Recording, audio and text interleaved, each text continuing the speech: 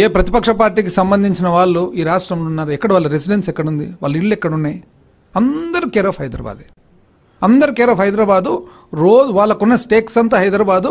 రోజు పొద్దు నుంచి ఆంధ్రప్రదేశ్ రాష్ట్ర పాలిటిక్స్ గురించి రాజకీయాల గురించి ఏదో ఒకటి ఇటువంటి కామెంట్స్ అసలు ఏ ఎటు ఎటువంటి విధానంగా చూడండి వెయ్యి కోట్ల అప్పు కోసము ఢిల్లీకి వెళ్తున్నారు. వెయ్యి కోట్ల అప్పు కోసము ఢిల్లీ ఇంకా అనుమతించలేదు. వెయ్యి కోట్ల అప్పు కోసము ఢిల్లీ అనుమతిచ్చింది వెయ్యి కోట్ల అప్పు ఆర్బీఐ నుంచి వస్తుంది. వెయ్యి కోట్ల అప్పు బాంబే అంటే పబ్లిక్ ఏమి? అదే వెయ్యి కోట్లు ఐదు సార్లు చెప్తే ఐదు వేల కోట్ల మాది కనపడుతుందని ప్లాన్. అవునా కాదా?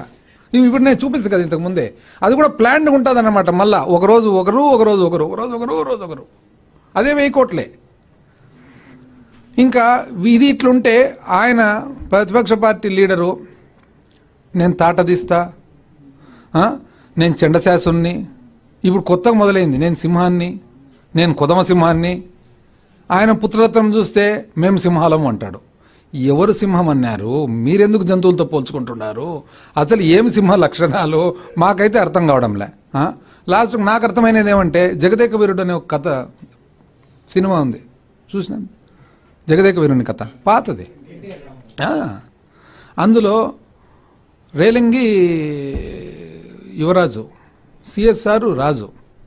సో ఆయన ఎన్టీ రామారావు సుంద అపరూప సుందరుల కోసం బయటికి పోతానంటే ఈయన ఏమంటాడు రేలింగి? నాకు నా- నన్ను పట్టాభిషేకం చేయని అడుగుతాడు. అప్పుడు వాళ్ళ నాయన కొద్దిగా ఆగుతాడు అనమాట ఆగితే ఈయన అడుగుతాడు ఒక ఫేమస్ డైలాగు. ఏమని? ఎప్పుడు మీరే ముసలిళ్ళు అయితే ఇంక నేనెప్పుడు అని అంటాడు చూడు అట్లా ఈయన. ఇవాళ మన రాష్ట్ర ఆర్థిక మంత్రి బుగ్గన రాజేంద్రనాథ్ రెడ్డి గారు కేంద్ర ప్రభుత్వం పార్లమెంట్లో చెప్పినట్లుగా నాలుగు లక్షల నలభై రెండు వేల కోట్ల రూపాయల అప్పు మాత్రమే రాష్ట్రానికి ఉంది.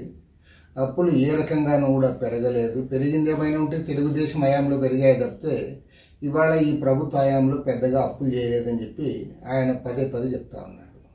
మరి రాష్ట్రంలో ఉన్న ప్రతిపక్ష పార్టీలుగా మేమందరమేమో తొమ్మిది లక్షల కోట్ల రూపాయల వరకు అప్పు చేరిందని చెప్పి మేము పదే పదే చెప్తాను మేము చెప్పడమే కాదు ఇవాళ కేంద్రంలో అధికారంలో ఉన్న పార్టీ భారతీయ జనతా పార్టీ అధ్యక్షురాలు కూడా ఆమె కూడా చెప్తా ఉంది.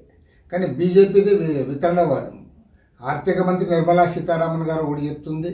ఇక్కడేమో కే బీజేపీ రాష్ట్ర అధ్యక్షురాలుగా పురంధరేశ్వరి గారేమో ఈమె మరో రకంగా మాట్లాడుతుంది.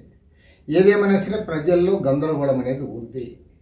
ఆర్థిక మంత్రి గారికి నిజంగా ఆయన చెబుతున్న దానిపైన ఏమాత్రం ఆయనకి చిత్తశుద్ధి ఉన్నా తక్షణమే ఆల్ పార్టీ మీటింగ్ పెట్టండి అందులో డిబేట్ పెట్టండి అందరికీ వివరాలు ఇవ్వండి. అందులో తప్పేముంది? ఇవాళ రాష్ట్రానికి చెందిన అప్పులు ఏ రకంగా ఉన్నాయి? రాష్ట్రానికి రావాల్సినవి ఏమున్నాయి? కేంద్రం నుంచి ఏమి సాధించుకోగలిగాము? ఏమి సాధించుకోలేకపోయాము? ఆదాయం నిజంగా పెరిగిందంటే ఎక్కడ పెరిగింది? పెరిగింటే ఇవాళ అందరు కూడా చెప్తా ఉన్నారు రాష్ట్రం విడిపోయినప్పుడు రెండు వేల పద్నాలుగులో పదహైదులో ఆ రోజు తెలంగాణ కంటే ఆంధ్రప్రదేశ్ ఆదాయం ఎక్కువ ఉంది. కానీ ఇవాళ తొమ్మిదేళ్ళ తర్వాత చూస్తే మన రాష్ట్రం కంటే తెలంగాణ ఆదాయం ఎక్కువ వచ్చింది పోయినసారి. కాబట్టి ఏమంటే వీటన్నిటిపైన కూడా చర్చ జరగాలంటే ముఖ్యమంత్రికి రా- ఆర్థిక మంత్రికి చిత్తశుద్ధి ఉంటే తక్షణమే మొత్తం వివరాలు ప్రకటించండి శ్వేతపత్రం విడుదల చేయండి. దానిపైన అన్ని రాజకీయ పార్టీలు కూడా ఆహ్వానించి సమావేశం ఏర్పాటు చేసి దానిపైన చర్చించాలని చెప్పి కూడా సిపిఐ తరఫున డిమాండ్ చేస్తా